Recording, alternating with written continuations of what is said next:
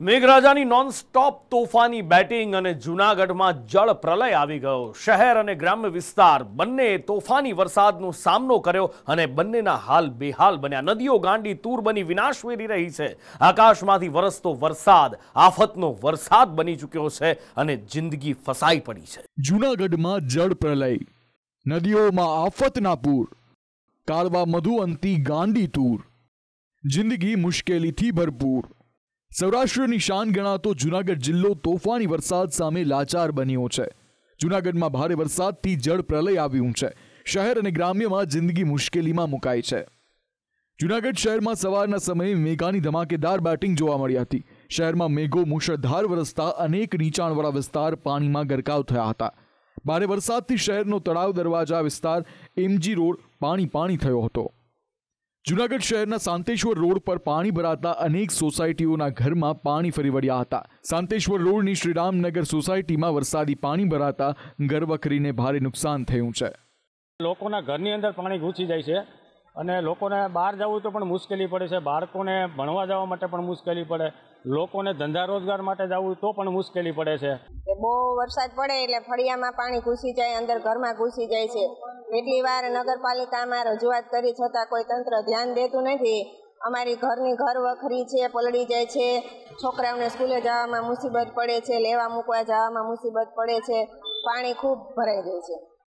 જૂનાગઢ શહેર તેમજ ગ્રામ્ય વિસ્તારમાં ખાબકેલા ધોધમાર વરસાદથી નદીઓ ગાંડીતૂર બની છે. શહેરના મધ્યમાંથી પસાર થતી કાળવા નદીમાં ઘોડાપૂર આવતા નદી કાંઠાના ગામોને એલર્ટ કરવામાં આવ્યા છે. જુનાગઢમાં સતત બીજા દિવસે પણ મેઘરાજાએ પોતાનું જે છે તે હેત વરસાવી રહ્યા છે અને ખાસ કરીને ગિરનાર પર્વત ઉપર ધોધમાર વરસાદ પડ્યો છે.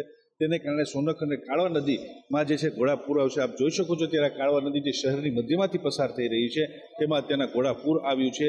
જે નીચાણવાળા વિસ્તારો છે તેને એલર્ટ કરવામાં આવ્યા છે અને ખાસ કરીને ઉપરવાસમાં સતત વરસાદ વરસી રહ્યો છે. તેને કારણે તેના જે છે તે પાણી સમગ્ર જે કાળવા નદીમાં આવી રહ્યું છે. વરસાદી પાણી ભરાતા જૂનાગઢ શહેરનો ઝાંઝરડા અંડરપાસ તળાવ બન્યું છે. ઝાંઝરડા અંડરપાસમાં પાણી ભરાતા એક કાર ફસાઈ હતી. આ તો થઈ જૂનાગઢ શહેરની વાત. પણ જૂનાગઢનું ઘેડ પંથક છેલ્લા કેટલાય દિવસોથી જળમગ્ન જોવા મળી રહ્યું છે. આ દ્રશ્યો ઘેડ પંથકના માટિયાણા ગામના છે, જ્યાં છેલ્લા ત્રણ દિવસથી વરસાદી પાણીનો જમાવડો જોવા મળી રહ્યો છે. ઓઝત નદીના પાણી મટિયાણામાં ફરી વળતા જ્યાં નજર પડે ત્યાં પાણી જ પાણી જોવા મળી રહ્યું છે. છેલ્લા બે દિવસથી જુનાગઢ જિલ્લામાં મેઘરાજા છે તે કહેર વરસાવી રહ્યા છે અને જે માણાવદરનું મટિયાણા ગામ છે, તેમાં પાણી ઘૂસી ગયા છે. આજ સવારથી ઓજતના નદીના જે પાણી છોડવામાં આવે છે, તે મટિયાણા ગામમાં ફરી વળ્યા છે. આપ જોઈ શકો છો અત્યારના મારા પાસે કે આ મટિયાણાનો પ્લોટ વિસ્તાર કહેવાય છે કે જે નીચાણવાળો વિસ્તાર છે કે આ જે વિસ્તારમાં જે છે પાણી ભરાઈ ગયા છે, લોકોના ઘરોમાં પાણી ઘૂસી ગયા હતા.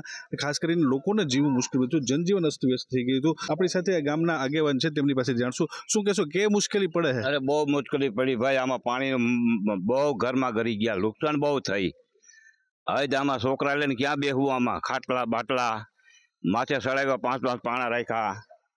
અને લબાસા પલળી ગયા, દાણા પલળ્યા. બહુ નુકસાની થઈ. આમ વસ્તુ એવી થાય છે કે એક કહેવત છે કે માલ ખાય મદારી અને વર ખાય વાંદરો, એવી પરિસ્થિતિ અમારી અહીંયા નિર્માણ થઈ રહી છે. ઉનાળામાં જ્યારે પાણી જોતું હોય, ત્યારે મટિયાણા અને ખેડૂતોને ક્યારેય મળતું નથી. અને ચોમાસાની પરિસ્થિતિમાં ખૂબ ભારે નુકસાન જમીન ધોવાણનું થાય છે, પાક ધોવાણનું થાય છે. જૂનાગઢના વંથલી તાલુકામાં કાળવા નદીમાં પૂર આવતા શાપર ગામનો સંપર્ક કપાયો છે. કાળવાનું પાણી રોડ રસ્તા પર ફરી વળતા ગ્રામજનો જીવના જોખમે રસ્તો પસાર કરવા માટે મજબૂર બન્યા છે.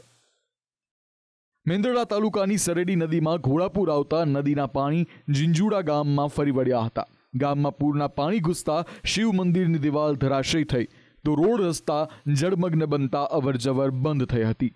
ભારે વરસાદના કારણે મેંદરડાની મધુવંતી નદી ગાંડીતૂર બની છે. નદીમાં પાણીનો પ્રચંડ પ્રવાહ દેખાતા નદીના પટમાં અવરજવર ન કરવા માટે સૂચના અપાઈ છે. તો જૂનાગઢની ઓળખ ધરાવતા ગિરનાર ઉપર ધોધમાર વરસાદ વરસતા દામોદર કુંડમાં પણ ઘોડાપૂર જોવા મળી રહ્યું છે.